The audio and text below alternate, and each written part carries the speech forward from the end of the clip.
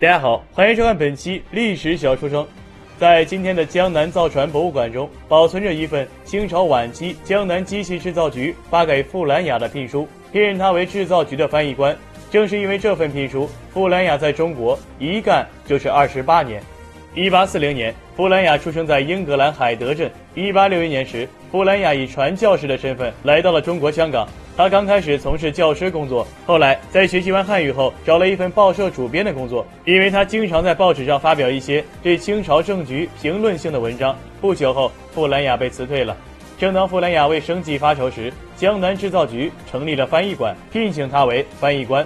徐寿、王德军、华恒芳。徐建银等一批近代著名的科学家与他成为了同事。他们通过傅兰雅了解了西方的数学、化学、物理、机械、医学等多方面的先进技术。当时江南制造局主要以军工为主，而傅兰雅也将很多英语书籍都翻译成中文，供他们参考使用。傅兰雅无疑为近代中国科学立下了很大的功劳。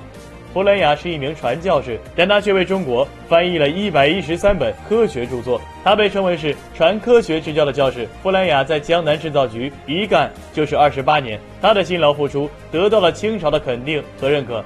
他晋升为三品大员，是近代少见的一位红顶洋人。弗兰雅将一生最美好的年华献给了中国。他说：“半生心血，唯望中国多兴西法，推广格致，自强自富。”遗憾的是。一心希望中国富强的傅兰雅，到死也没能看到中国的富强。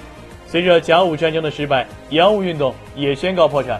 一八九六年，傅兰雅去到美国，在美国他开设了一家盲童学校。一九二八年时，九十岁的傅兰雅在美国去世。本期节目就到这里，感谢您的收看。